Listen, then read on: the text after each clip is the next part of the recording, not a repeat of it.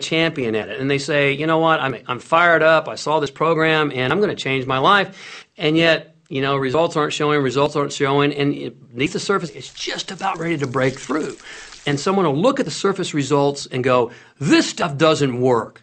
And you know what? The universe says, your wish is my command. And it goes down. You know, knowing the law of attraction I wanted to really put it to use and to see if it was, you know, you know what would happen. And in 1995, I, I, started to create something called a vision board, where I take something that I would want to achieve, or something that I want to attract, like a car or a watch or, or the soulmate of my dreams, and I'd put a picture of what I wanted up on this board called the vision board.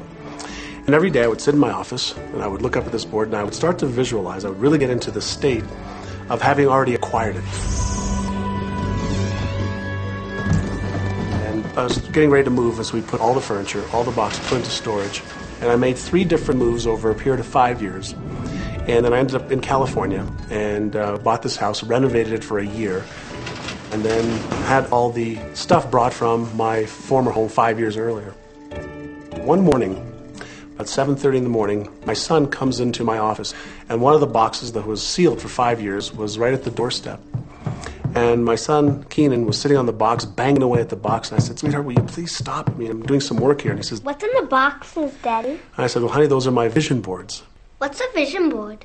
I said, Well, it's where I put all my goals up. I cut them out and I put all my goals up as something that I want to achieve in my life. And of course, at five and a half years old, he didn't understand it. So I said, Sweetie, let me, let me just show you, because that'll be the easiest way to do it. And so I cut the box open and when I pulled up the vision boards, there was a picture on there of a home that I was visualizing five years earlier. And what was shocking to me was we were living in that house, not a house like it.